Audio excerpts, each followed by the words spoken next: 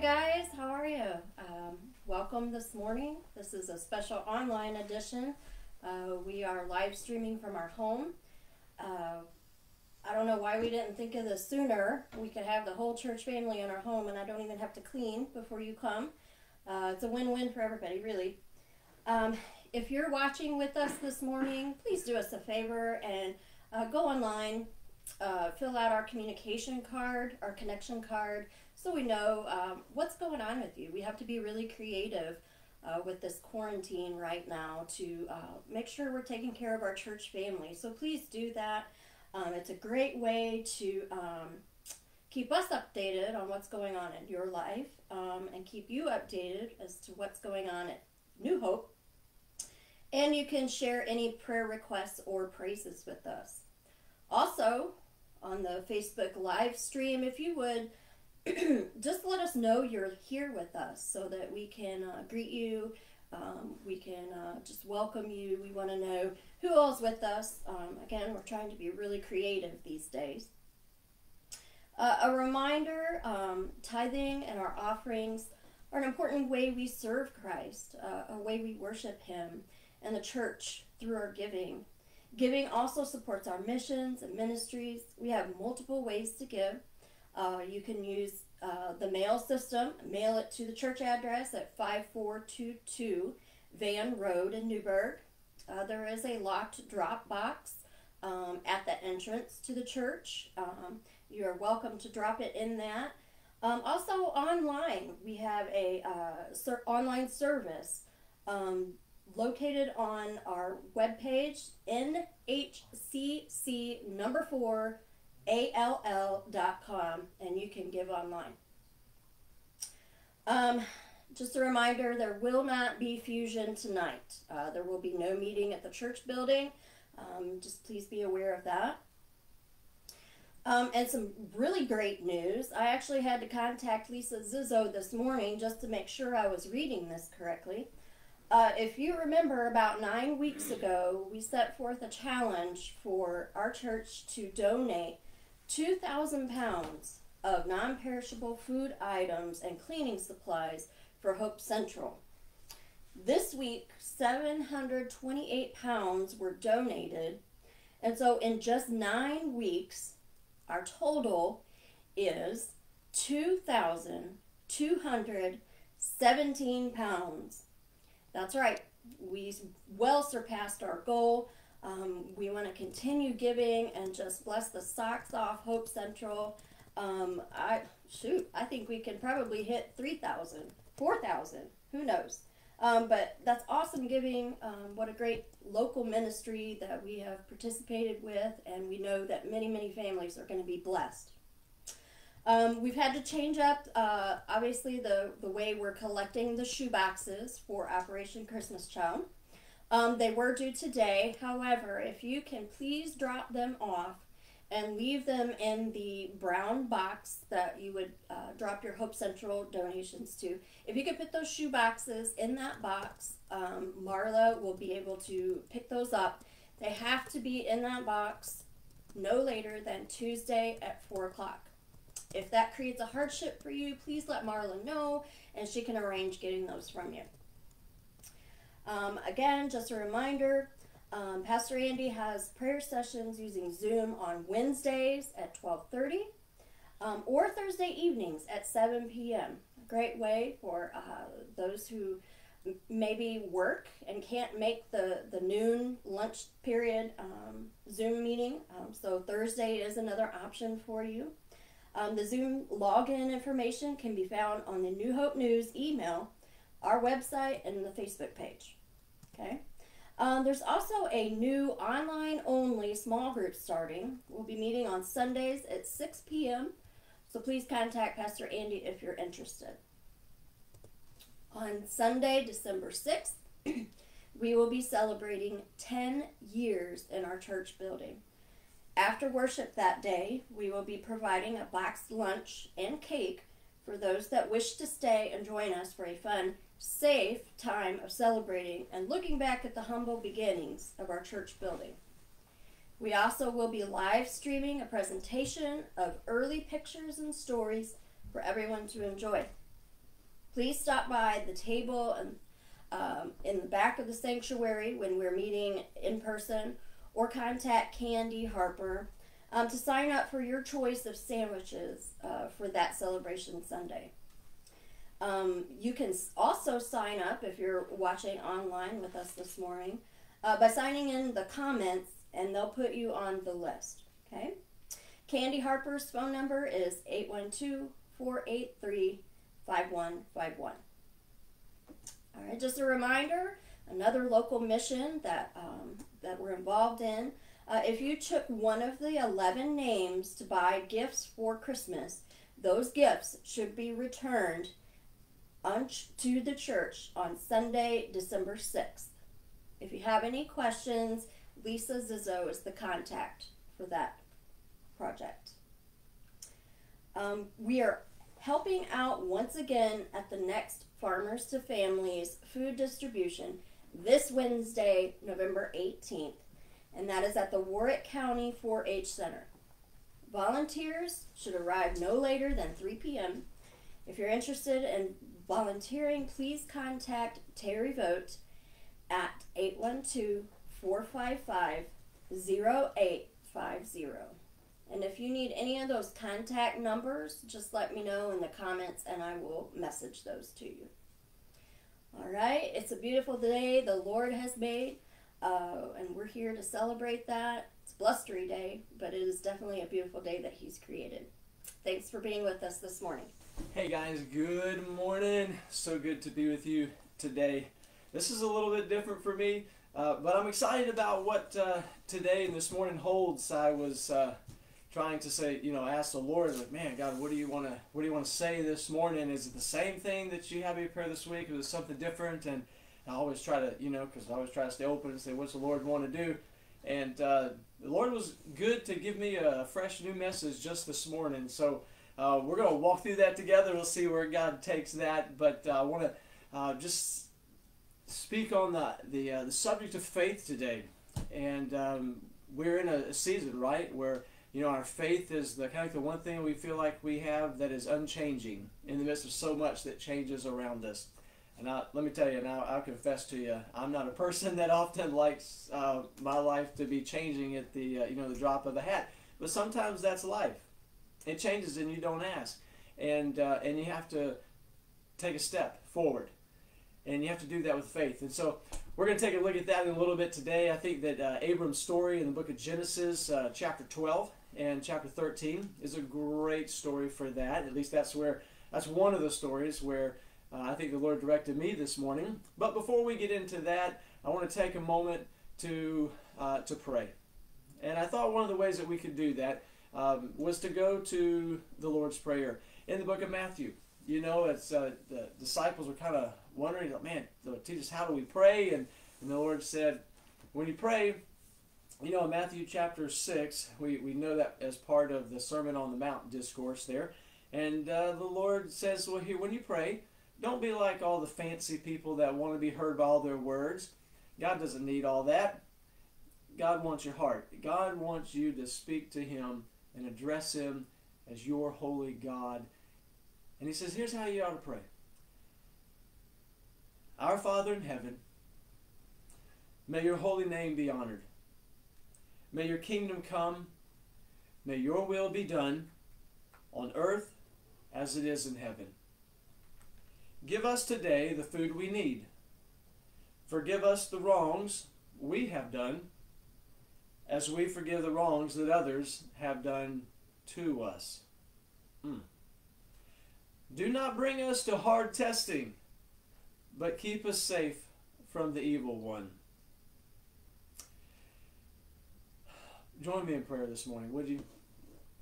Father, I thank you for this wonderful prayer that your Son has given to your church. That we can pray this prayer, and that though they are words that we can all say together at the same time, that the meaning and the richness of them are very valuable. And that you hear us as we pray, that you are working through our prayer requests. And God, we know sometimes it doesn't seem to happen as fast as we would like, but you're at work. As you told us that you make all things beautiful in your time. So today as we recite the Lord's Prayer from Scripture, would you honor your word? May it not uh, return void, but may it go out even in the prayer to fulfill the purpose for which you have given it. That you will be blessed, that you would bless us as we serve you faithfully to the end, and that in the end you will redeem and bring home your church for your glory and honor and for our eternal good.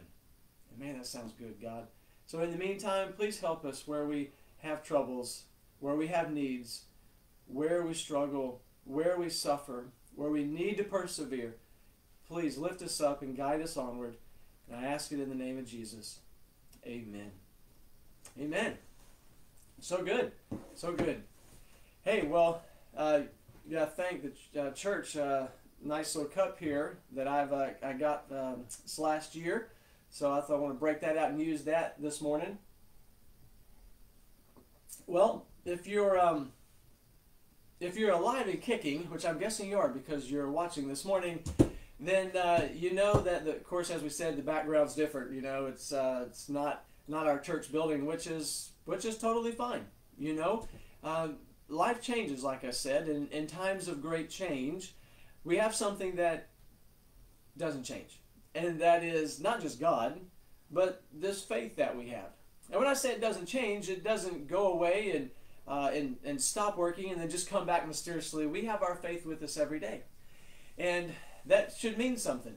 And I hope that it does, because in our faith we ultimately find our hope. And it's to that end that I, I want to uh, share this morning from uh, Genesis chapter 12. And so I'm going to uh, give you a moment if you're at home or uh, somewhere. You want if you got a Bible with you, you want to open that open that Bible up, uh, or maybe on your phone or however you want to do that. But go to the book of Genesis, chapter 12. And so Genesis being the first book of the Bible, and we're going to go to the story of Abram. And this is a great story to talk about faith. And there's a couple particular parts of it that I want to uh, kind of direct our eyes to today. And, and that is uh, beginning in Genesis chapter 12, verse 1, we find that Abram is, uh, well, he has. He's gone from what he knew as his homeland up to a land called Haran. And, and Haran was uh, up in sort of Mesopotamia and um, kind of area where we would sort of think as uh, sort of part of Turkey. And so he's, he's up there. And, uh, and God calls him to leave that land and go down to the land of Canaan. And uh, if you know a little thing about uh, geography, that is, uh, I think it's about a 700 mile journey or so. Can you imagine walking 700 miles or so? because God said, I want you to leave where you are and I want you to go. And I'll just give you all the rest of the details when you get there. But I want you to go. And that's exactly what uh, Abram ends up doing. And so let me read to us from uh, Genesis chapter 12, beginning at verse 1. Actually, I've got it pulled up on my, my computer, so let me read it from there, okay? So here's what it says The Lord said to Abram, Leave your land, your family, his extended family, and your father's household for the land that I will show you. I will make you a great nation and will bless you. I will make your name respected, and you will be a blessing says, I will bless those who bless you. Those who curse you, I will curse. All the families of the earth will be blessed because of you. So Abram left just as the Lord told him, and Lot went with him. Now, like this. Now, Abram was 75 years old when he left Haran. And then it goes tell on of his family sort of taking that journey and sort of who's with him and when he gets there and the building of an altar and it's just it's it's pretty cool. But can you imagine being 75 years old and, and the Lord says, I want you to, to get up from where you are and I want you to go travel. And it had to be a hard season of traveling, but he doesn't. Why? Because there's something about Abraham that believes that Yahweh has the right to instruct him how to live his life, where to go, when to go, and that when God says now, then by faith, Abram wants to be obedient. And we don't have much backstory on him and, and as to how he began to believe in, in, Yahweh as you know as God, but he did, and so man, we're thankful that he did because our story comes out of him. Uh, but I like this. When I think of Abraham, let me break this word faith down into um, an acronym, right? So I'm going to use the fir- of faith. So each letter, I'm going to give you a word that I think helps us to see our faith using this story, and then ultimately, uh, if you know me, then we're going to go to Jesus and we're going to see if we can connect it right to Jesus and, uh, and try to lock it in. And I think we can. So here we go. Let's think about the F. And if you're jotting these down, that's awesome. Hey, I think flexible is a great word to use when thinking about faith. You know, there there's Abram and he's got his family and um, he, he has he has to leave what he knows. He's already left what he knows, and he's going with you know he's going with his family up to Haran, and then he's got to leave what he knows and travel from Haran south down into Canaan, and he ends up in in a land um, that's not like the homeland that he had left.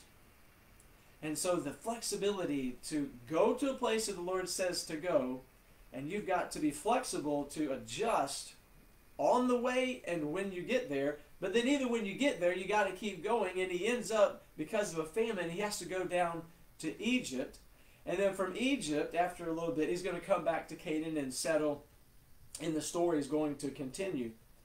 But you know what? I feel it's nothing. Just amazing how God wants Abram to go from one place to the next, and he's bringing his whole family with him. And so that's not just like you know you and two kids get in a car and you travel. This is a a caravan of people and supplies and, and stuff that you've got to pick up, pack up, and you've got to go take a journey. And he's, he's, he's willing to be flexible to go where that's going to take him to, even though he doesn't know exactly how it's all going to play out. And I thought this morning, God, that feels exactly like where I know I'm at. You know, being flexible to just preach and teach wherever I am to people that want to listen and not know how it's all going to play out. Say, Lord, let's just try to be flexible.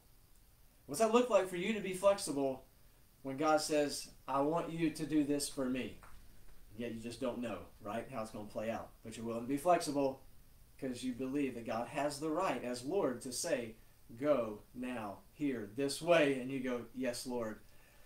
Whew, I'll be flexible. Let's just try this. Let's see where it goes, you know? And I love that about Abram. I think I hope and I hope for us that that encourages us when we think about what faith is. Well, let me give you the A in this one. So I think for when I think of Abram, that word um, attentive. You know, to be attentive. Hmm. Faith, attentive. When I when I look at uh, the story of Abram, what's kind of neat as the story goes on is that you know um, God chose Abram to help teach not just his family, but the generations that would come after him about who God is and what God's like because they didn't know, really know, um, widespread, if you will, this this God who is to become the God of the Jews, the God of creation, right? Um, and so here, Abram probably doesn't even realize it, but the sense of being attentive, that what God wants the people to know about Him and through Him he's somewhat responsible for being that that conduit, that, that vessel, right? So that mouthpiece, that one that helps the people learn that God's going to communicate through him. And for me, I see it when you know the, when uh, when God says to Abram, He says, "Look, He says, I'm going to bless you so that you can be a blessing to the nations." Well, I'm going to bless you, and you through you experiencing and knowing me and, and learning about me and following the life that I'm going to lay out before you, so that when you do that, you're going to communicate that life with me that is a blessing to the nations, so that the world will know me and that the world will be drawn to me. Faith is, is being flexible, but man, it's about being attentive. I had that tested me this morning as I'm praying. I, I to be honest with you, I'm, I'm I hadn't even put my feet on the floor this morning, and I'm trying and, I, and I'm praying and I'm going. My eyes are not even open yet, right? and I'm going, God, what is it you want me to speak today? Like I said, right? Is it what you already put together this week with me and we work together, or is it something fresh and new? Since this is just a different moment. And I'm sitting there and I'm listening, and I'm getting nothing, you know. And so I'm getting ready, and I'm eating my breakfast, and I've got my coffee, and and I'm and I'm and I'm praying again, God, I'm, I'm waiting, and and all of a sudden, as I began to just sort of think on the scriptures, this message began to just percolate within me, and and I'm just so thankful that. Um, that the Spirit helped me to have a listening ear to speak about faith and being attentive to say what God wants you to say and to do what God wants you to do. Man, are you being attentive today to the things that God is saying to you and the things that He wants for your life, the direction He's leading you? Are you being attentive to that still small voice, that, that voice that speaks through the scriptures, you know, when you take a little time, or maybe it's on your phone, you know, you're reading, or it's on your computer, and, you know, your laptop, or your tablet, um, and just say, Lord, help me hear what you want to say to me. Because I know what you want to say is for my good. And so help me to listen, Lord. Uh, and help me to listen through others too. If somebody has a wise word to speak to me, help me to listen to that with humility. Well, don't. Uh, well, let me just say here. Here's another one. I'm gonna stick with this little passage I started with, uh, and it's this. I think that for maybe the I in faith could be interpersonal, right? Interpersonal that um, you know faith is really not just me and God.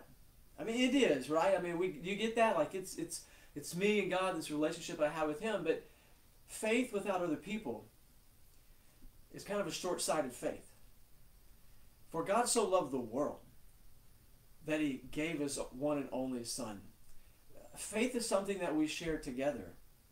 Faith is something that when it's shared together, that we grow together. And if you've been with us for you know the last couple months, and no doubt that's something you've heard me talk about on Sunday mornings.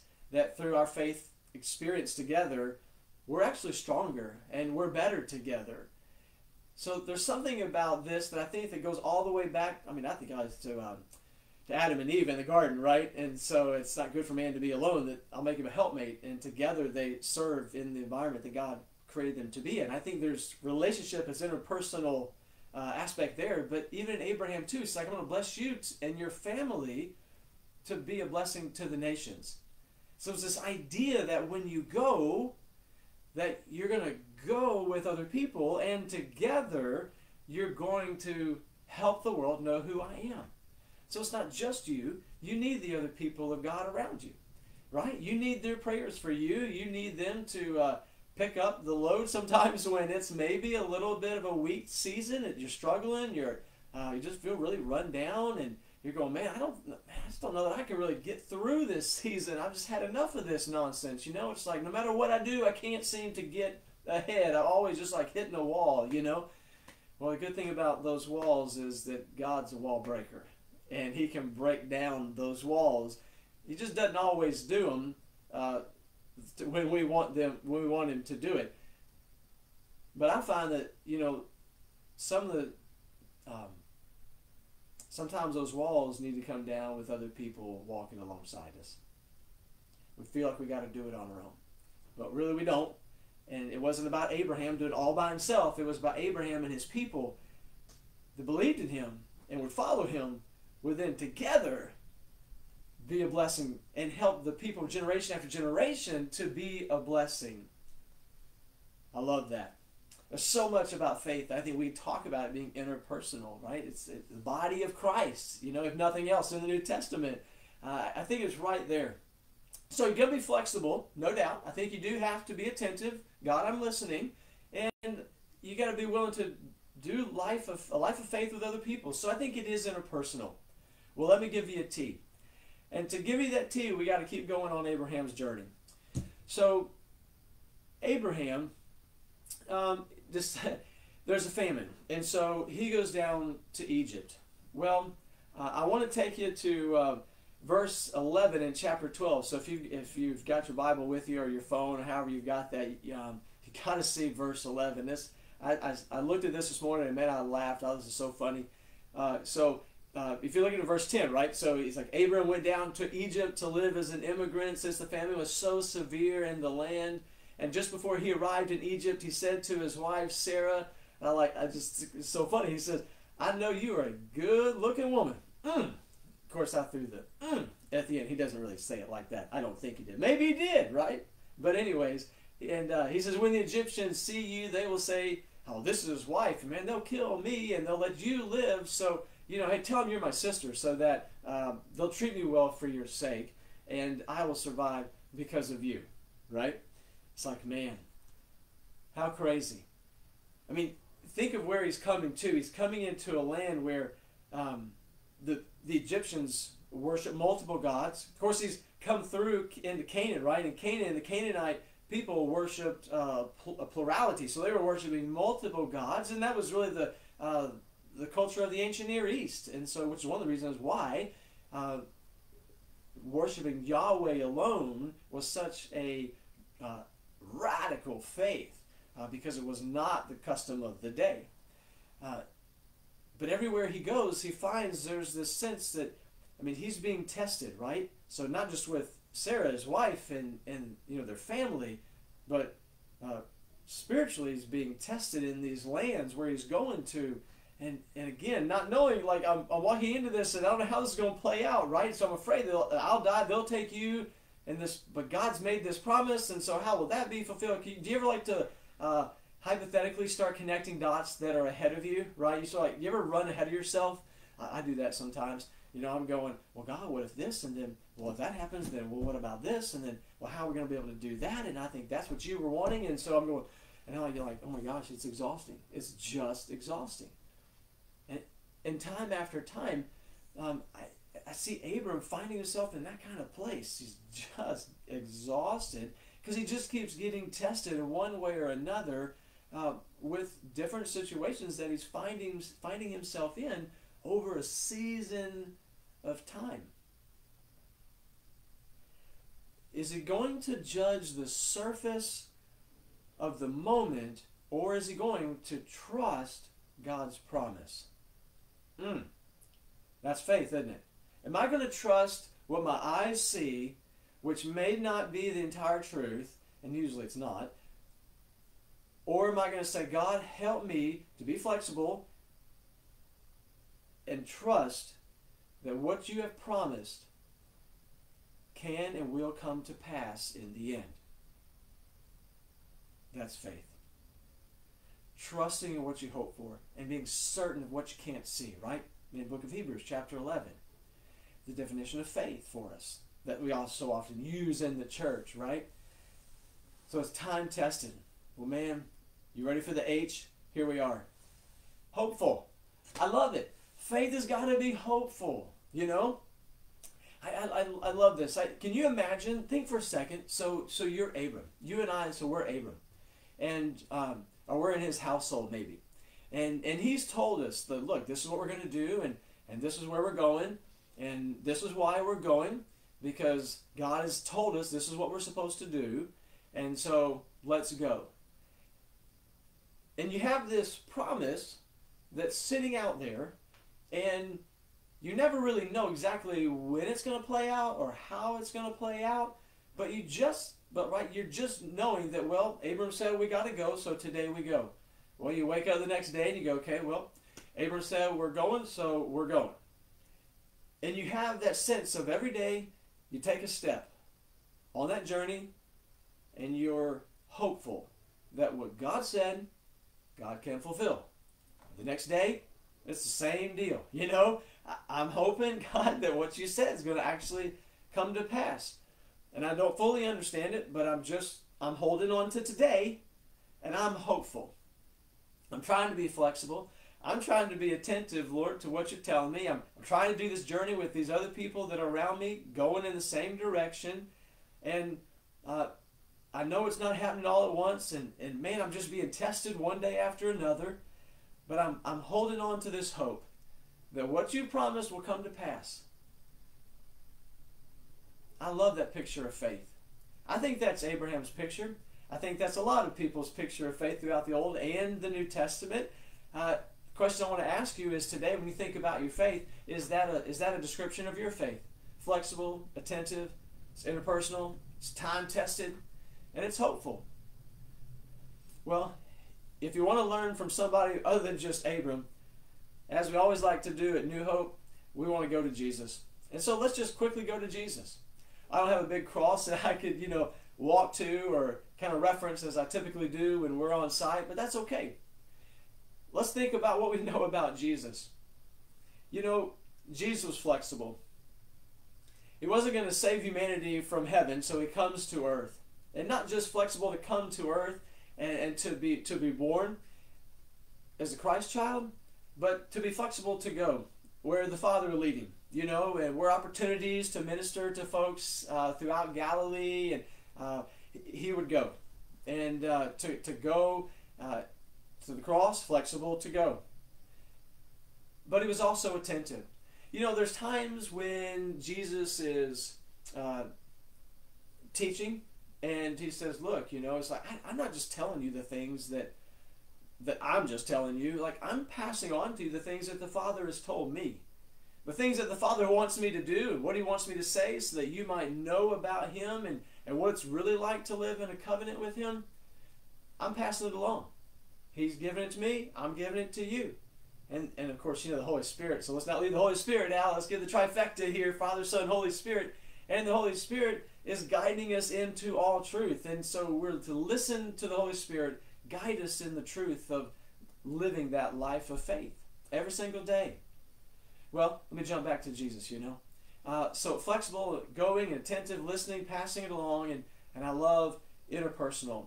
You know, so much, and well, really, so well, so much. You know, Jesus' ministry was doing what? Was being with the disciples. You know, for three years, uh, going to synagogue to worship, uh, going to the temple, right? At times when it was when it was necessary to go, was right to go, and uh, going where the people were and talking to them, healing them, spending time eating dinner with them, you know, just relaxing with them, laughing with them, no doubt, and, and mourning with them, you know, when, when life was hard and people were broken, and, uh, and teaching them about God, helping them to grow in understanding what it is to be a people of faith so much was Jesus with people. He lived out his faith with people. That's interpersonal. That's Jesus. And it was time tested. I mean, 33 years, right? It just living that life of faith and growing, right, in uh, in stature and in favor with uh, with God and men, as it tells us in the beginning of Luke.